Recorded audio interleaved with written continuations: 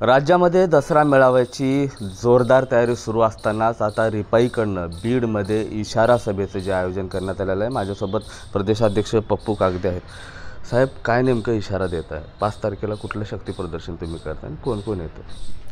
पाच तारखेला केंद्रीय मंत्री रामदासजी आठवले साहेबांच्या सत्काराच्या निमित्तानं एक रिपब्लिकन पक्षाच्या वतीनं एक निळ्या झेंड्याचं असं भव्य दिव्य शक्ती प्रदर्शन आम्ही करतो आहे रिपब्लिकन पार्टी ऑफ बीड जिल्ह्यातले सर्व कार्यकर्ते त्या अनुषंगाने तयारीला लागलेले आहेत.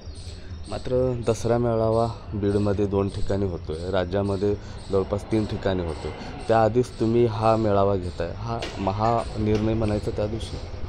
हो निश्चितपणे एकीकडे जरांगे पाटलाचा मेळावा होतो पंकजाताईचा मेळावा होतो दसऱ्याच्या निमित्ताने आणि आम्हीसुद्धा दसऱ्याच्या सुरुवातीला म्हणजे पहिले घटस्थापना का दुसरी असेल त्या दिवशी आम्ही निळ्या झेंड्याची ताकद आम्ही सर्व भीमसैनिक आम्ही या मेळाव्याच्या माध्यमातून दाखवणार आहोत.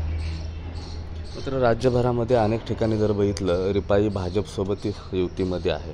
त्याचा फायदा बऱ्याच ठिकाणी पण झाला बीडमध्ये पाच ठिकाणी झाला. मात्र म्हणावं तसं रिपाईला कुठलंही स्थान देण्यात आलं नाही. त्यामुळे रिपाई आक्रमक होते? हो आम्ही आमच्या शक्ती प्रदर्शनाच्या माध्यमातून आम्ही आमच्या मित्रपक्षाला आम्ही सावध असा पवित्रा म्हणजे एक आम्ही सांगतो आहे की जर आम्हाला या जिल्ह्यामध्ये जिल्ह्याचा जर विचार केला तर सहा मतदारसंघ अ, पैकी आम्हाला एक जागा सुटली पाहिजे आणि नाही सुटली तर तुम्हाला गंभीर परिणाम भोगावे लागतील. मात्र स्वर्गीय गोपीनाथ मुंडे साहेबांनी देखील तुम्हाला त्यावेळेस संधी देण्याचा प्रयत्न केला. मात्र अचानक तुमची उमेदवारी कापली. यावेळेस तसं होते म्हणून हा मेळावा घेत आहे अशा पद्धतीनं शक्ती प्रदर्शन करता हो बरोबर आहे. आम्ही सावध पवित्रा घेतो आहे माझी दोन हजार एकोणीसला भाजपच्या कोर कमिटीमध्ये माझं नाव निश्चित झालं होतं आणि कितची जागा मला सुटली होती. परंतु शेवटच्या क्षणी का कटले हे अद्यापपर्यंत आम्हाला कळालं नाही. आणि म्हणून बीड जिल्ह्यातले सर्व रिपब्लिक रिपब्लिकन पक्षाचे कार्यकर्ते हे जोरदार मागणी करत आहेत आणि आमचे सर्व कार्यकर्ते हे सांगत आहेत की यावेळेस कुठलंही आम्हाला असं म्हणजे त्याला म्हणू की आम्हाला तुम्ही दगा देऊ नका अशी कार्यकर्त्याची भावना आहे. पंकजा मुंडे असतील त्यांच्यासोबत काही सल्ला मसलत किंवा चर्चा विनिमय झाले जागेबद्दल? नाही याबद्दल माझे पंकजाताईशी कुठलीही सल्लामत झालेली नाही. पण येणाऱ्या काळामध्ये जसंच आम्ही भेटू त्यांच्या त्या दसरा मेळाव्याच्या तयारीत आहे. मी पण माझाही कार्यक्रम उद्या पाच तारखेला आहेत. मी त्या तयारीत आहे आणि कार्यक्रम झाल्यानंतर मी त्यांच्याशी भेट घेऊन चर्चा करेन काय कार्यक्रमामध्ये मुख्य आकर्षण राहणार आहे? साधारणतः किती समाज या कार्यक्रमाला हजेरी लावू? आठवले साहेबांची आपण मिरवणूक असे भव्य दिव्य मिरवणूक आपण राजूरबेस ते शिवाजी पुतळा असे काढणार आहोत.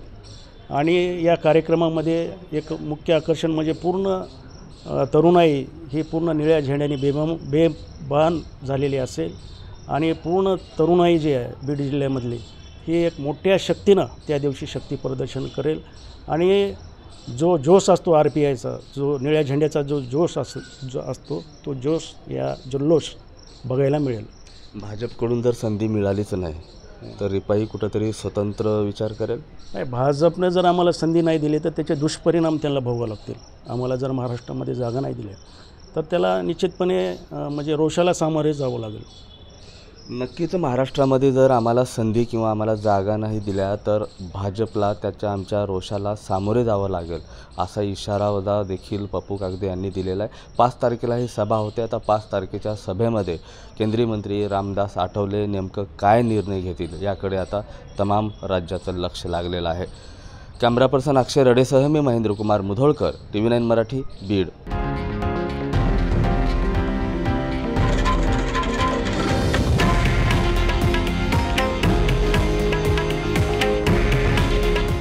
आहे देशातील नंबर वन न्यूज नेटवर्क. आणि आपण पाहत आहात टी व्ही नाईन मराठी. काळजी तुमची हित महाराष्ट्राचं.